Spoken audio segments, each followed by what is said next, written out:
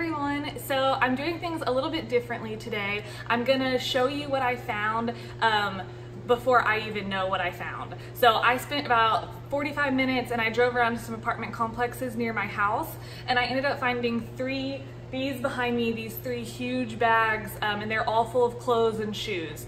So I haven't looked through any of it, and I'm gonna kind of do it like an unboxing or like a haul reveal so we can see together what people threw out. Oh, and I wanted to mention that uh, today everything I'm wearing is from the dumpster. So these are the shorts that I found in my last video, the cutoffs, and then I have on this cute um, top as well that was found in the dumpster.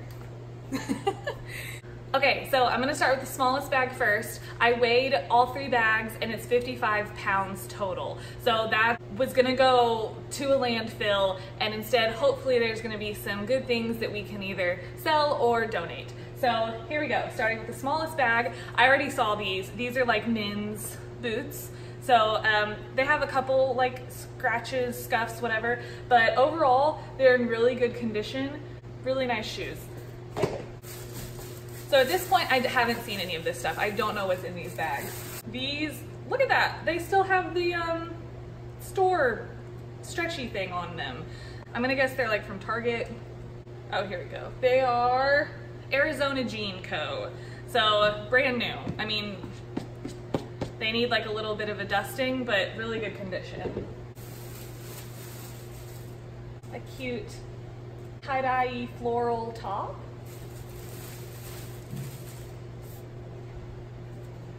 Kids athletic pants. Oh, this is great. This is a Levi's button up.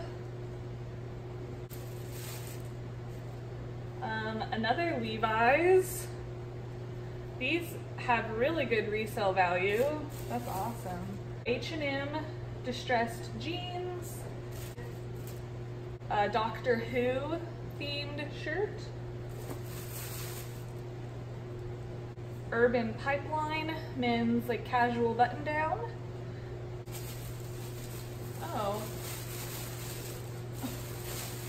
These still have all the original tags on them. They were $48.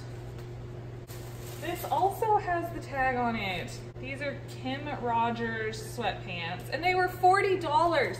Okay. So they paid 17.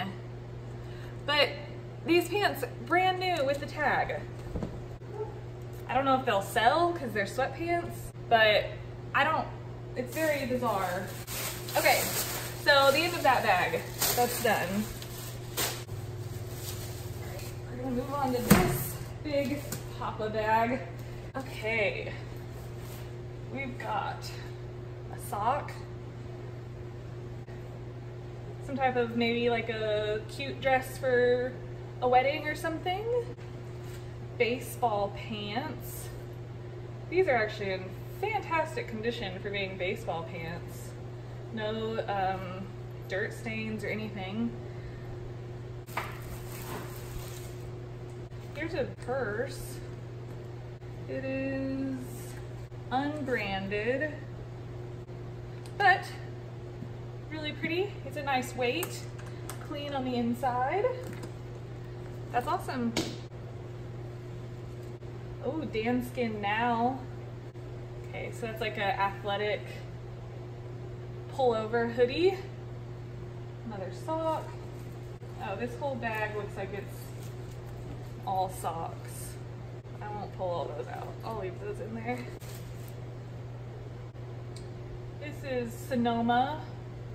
One thing that I really like about um, selling on Poshmark with clothes that I have found dumpster diving is I have a much wider variety of clothes and sizes than most of the um, sellers have. So like this top right here is, this is a 4X, okay? So it, this is like a plus size shirt, um, but I can have stuff like this in my closet as well as kids stuff or an extra small men's shirt it just is really cool because I'm able to reach more buyers because I have a wider variety than someone who might just be um, pulling stuff from their actual closet, like what it was originally designed for. Okay, this is an official uh, of the whatever Texas people. this is a Texas Rangers official shirt. Okay, did that explain it? So that's really cool. That, I don't know what that'll sell for, but I know those are expensive. Through 21 Bermuda shorts. This is another Arizona Jean Co. That's like a cute tank.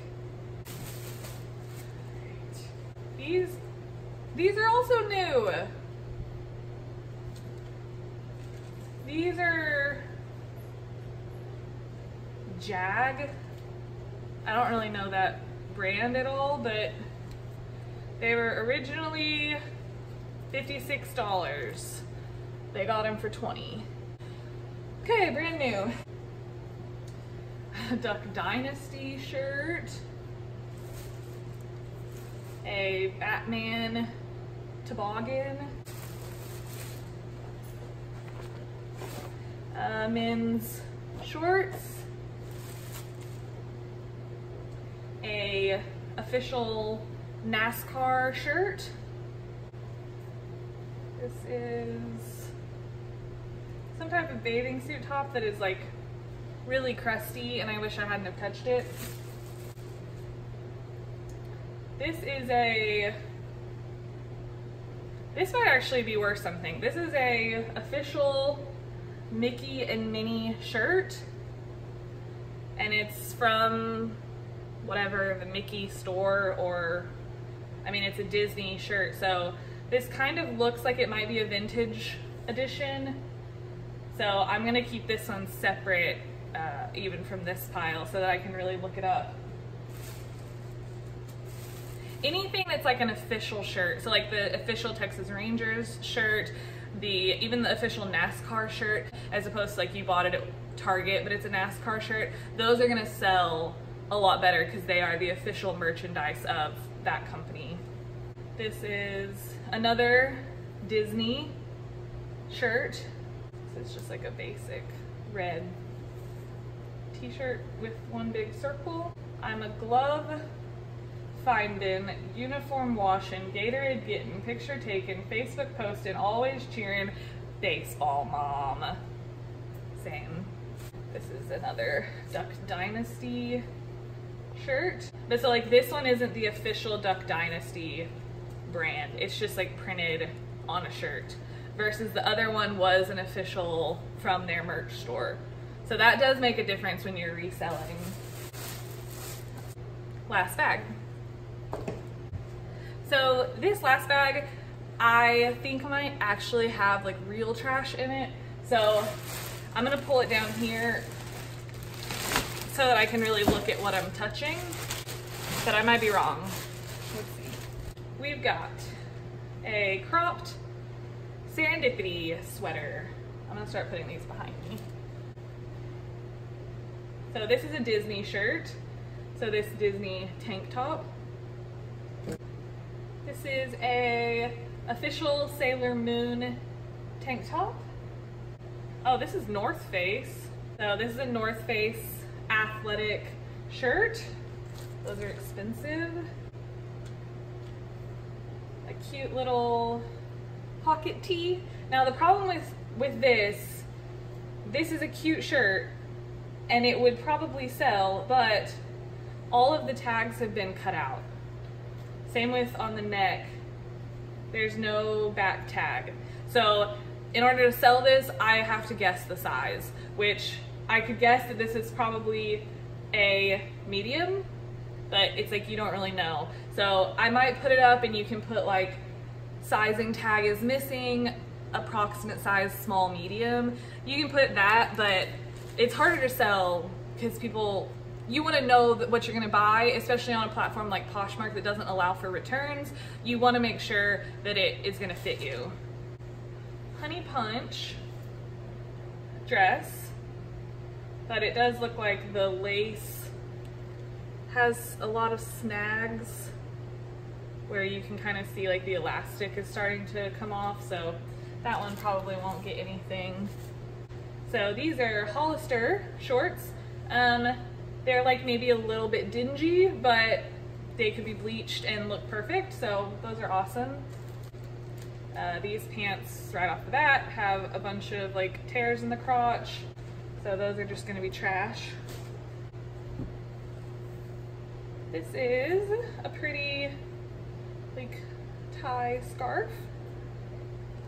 Another racer back tank. Okay, so we're at the shoes. We've got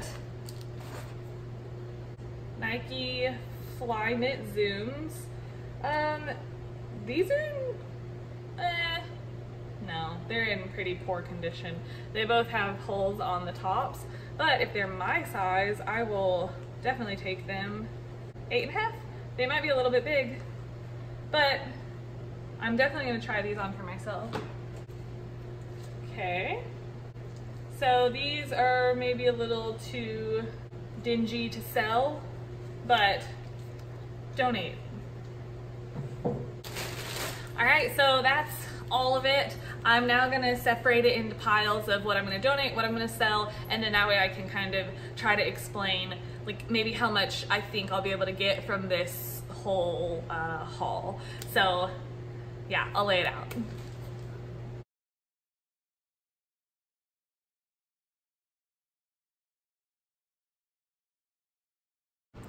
All right, so everything's all sorted and it is laid out. I'll start with my donation pile over here. So this is everything that's gonna uh, be donated and it's all these like tops right here. This is more t-shirts. These are denim shorts and pajama pants and then all of these as well and this is like athletic pants and t-shirts combined. And then I decided to donate two pairs of the shoes and then this bra. The other shoes just weren't good enough condition to even donate. So that's all my donation stuff. And then right over here is everything that I'm gonna be keeping. So from the trash today, I'm keeping 10 pairs of pants and 27 tops and sweaters. Um, and then as well, this purse, this Batman beanie, this cute little scarf, and three pairs of shoes. On Poshmark, where I'm gonna be selling all of these clothes, I'm currently averaging $6 an item. So far I've sold 17 items on Poshmark. So a $6 average times the 37 pieces of clothing that I am keeping, I already did this on a calculator, is $222 uh, estimated profit. That doesn't include the shoes um, or the purse or the fact that some of this stuff is gonna be more expensive than $6, especially the Minnie and Mickey vintage top and some of the Levi's stuff. So about, um, I'm gonna say 200 to $250 is what I'm gonna make off of this haul. This took me 45 minutes of diving, probably two loads of laundry to wash all of it and clean it up, and then the time it takes me to list um, all of this stuff on Poshmark. So I'm gonna say it's probably gonna take me four hours total. Um, so four hours divided by $200 is $50 an hour. So not bad for dumpster diving and hopefully all of this stuff sells quickly and it does make what I'm thinking it's gonna make. So thank y'all for watching. Um, I know it was a little bit different this time. I hope you enjoyed it and I'll see you next time.